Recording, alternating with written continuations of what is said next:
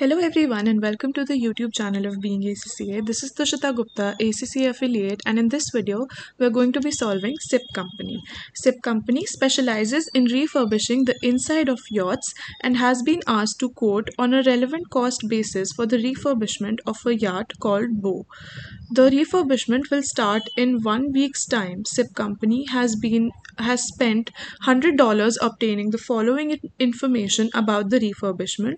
These are the materials. The material required will be 20 meter square of upholstery fabric, 10 meter square of teak wood for the flooring.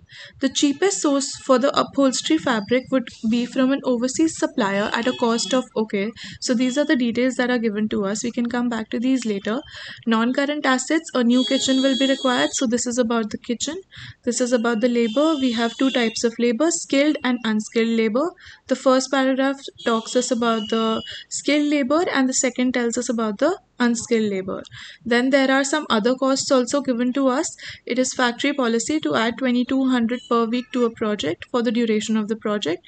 This is to cover factory rates, depreciation, interest on long-term loan to purchase plant and equipment and some profit element. So let's read the first requirement. The first requirement says what are the costs to be included in the quote for the upholstery fabric and the kitchen. So let's first read the uh, paragraph about the upholstery fabric. So we need 20 meter square of this upholstery fabric. Right. The cheapest source for the upholstery fabric would be from an overseas supplier at a cost of 85 uh, dollars per meter square. SIP company buys most of its fabric from overseas and pays 400 per month to a shipping company as a retainer and then 7.5 per meter square for each meter transported. So that means uh, what will be the cost for this um, upholstery fabric? This will be uh, first of all the price of the uh, price per meter square that we pay.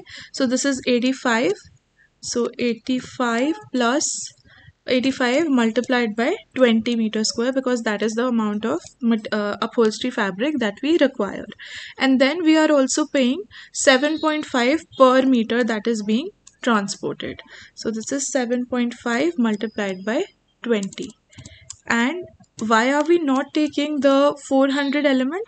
Because this will be paid even if nothing is transported and even if we are transporting uh, the material for us. So uh, this is a retainer and will be paid regardless. So this is not a relevant cost. So this comes out to be the total that we will quote for the upholstery.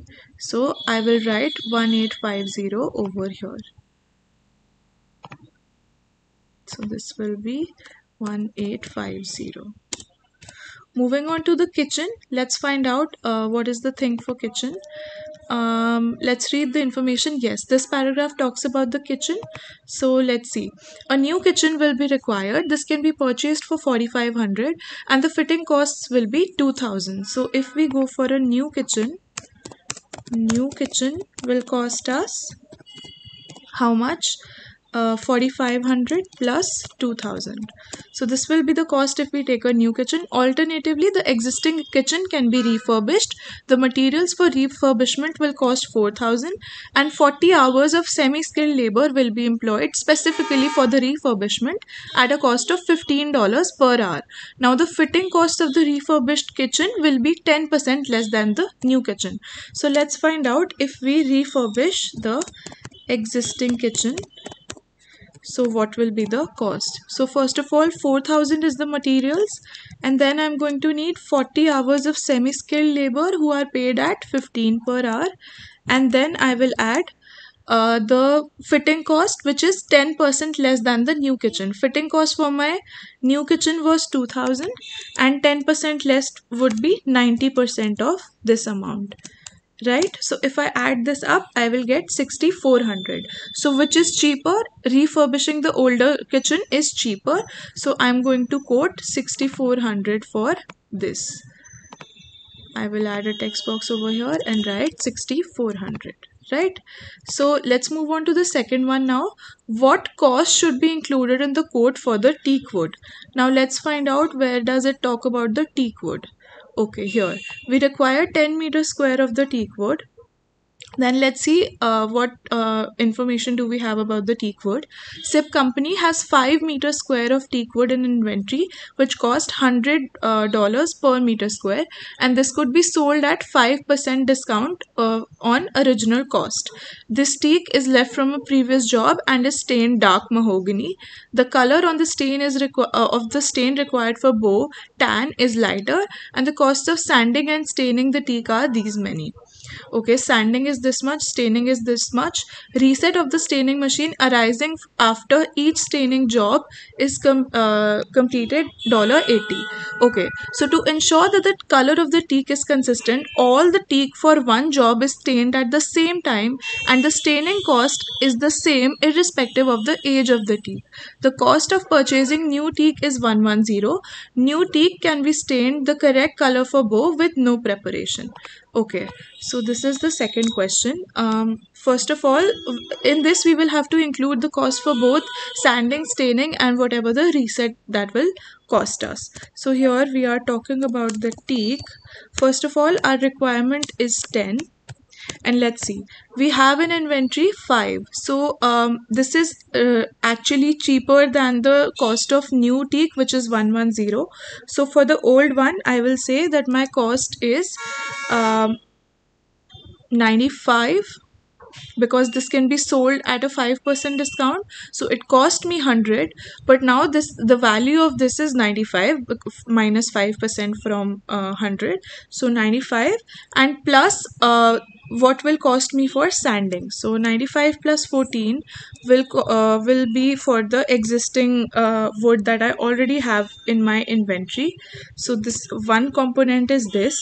And then I have uh, the new teak which I will have to purchase I require 10 I have 5 in inventory. That means I will have to purchase 5 more and the cost of the new teak is 110 so uh, this is one of the components. And then let's see how much it will cost us to stain all of this teak. So it is mentioned that uh, to ensure that the color is consistent all the teak will be stained at one time. So all the teak is 10 meter and then we will uh, for staining it is 4.5 per meter square. So this is 10 multiplied by 4.5 so this is what will cost me for staining this teak. And then I will reset. The cost of including reset is 80 and then the sum of these will give me how much I need to quote for the teak.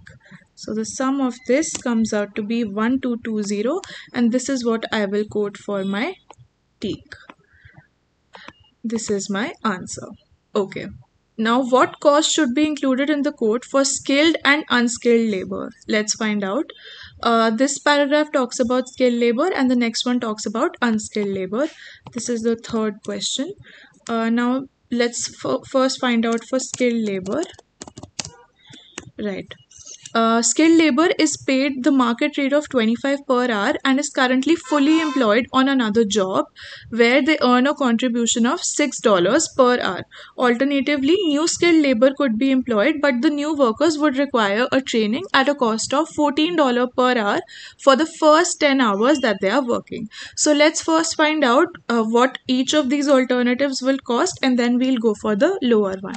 So for the existing labor, we are paying them 25 and we will be losing a contribution of 6. So this means 25 plus 6 is my cost if I employ them on this project. And then they will be uh, how many hours? There will be 100 hours. So this is my cost if I use my existing labor let me label this over here. This is for existing labor.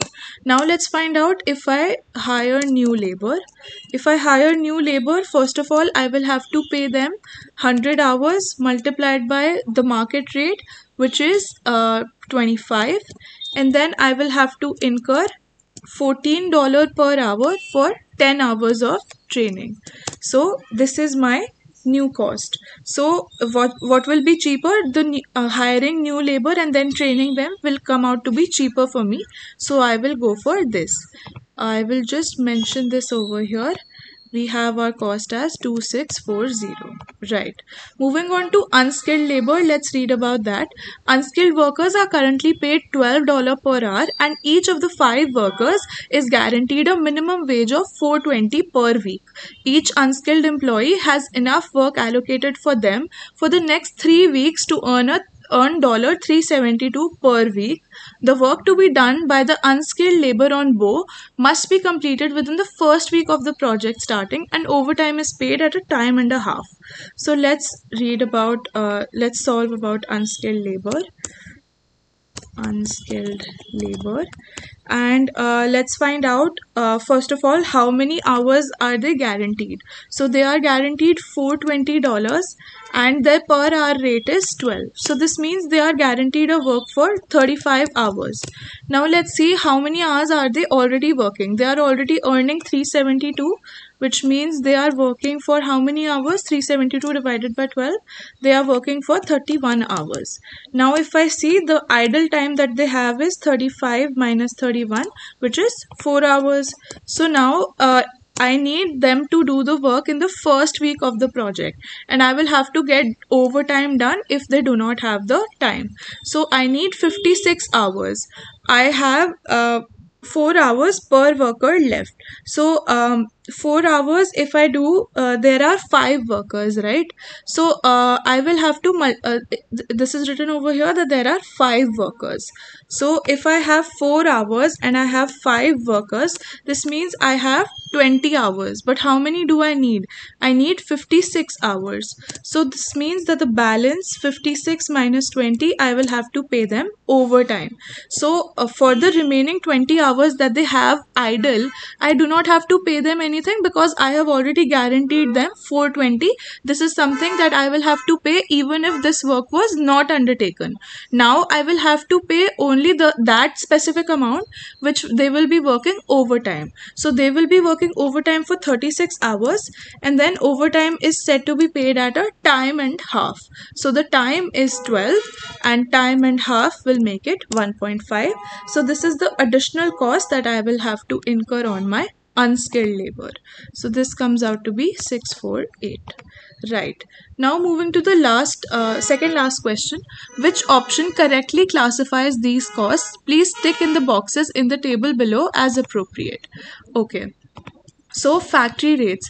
Factory rates can be said as the committed costs because these will be paid even if uh, this contract is not undertaken. So these are the committed costs. These will have to be undertaken regardless. Then depreciation. Depreciation will fall under the category of notional. Why? Because depreciation does not involve any actual outflow. It is more like an imputed cost. So this will fall under notional. Then let's go for interest interest is taken on uh, the loan uh, which we have taken to purchase plant and equipment. This is also a committed cost. This will have to be incurred regardless whether we take this project or not. Then let's go to the fifth question. Which two of the following statements are true? The $100 spent obtaining the cost information should be included in the quote. Now this statement is false because the $100 spent on obtaining this cost information is a sunk cost and hence this is not relevant. Moving to the second statement, SIP company should consider the effect of the refurbishment on the tax the company will pay and include the tax effect in the quote as a relevant cost. Now this is absolutely correct because uh, maybe due to the refurbishment the tax payments that the company has to pay will increase or decrease. So this should also be taken into account because this is a relevant cost and because this will only be incurred if we are taking this project. Hence this is relevant. Uh, opportunity costs arise when a scarce resource which has an alternative use in the business is used in a project. Now this statement is also absolutely correct. This is the very definition of opportunity cost. It is basically the cost of the next best alternative that you have to forego because your resource is already scarce. You cannot put it on both your projects. Okay. Now the last statement, relevant costing techniques should be used in uh, CVP analysis. This statement is also wrong. So we have our answer as second and third statement. With this, we have come to an end to this question. Thank you for watching. Please stay tuned for the next one.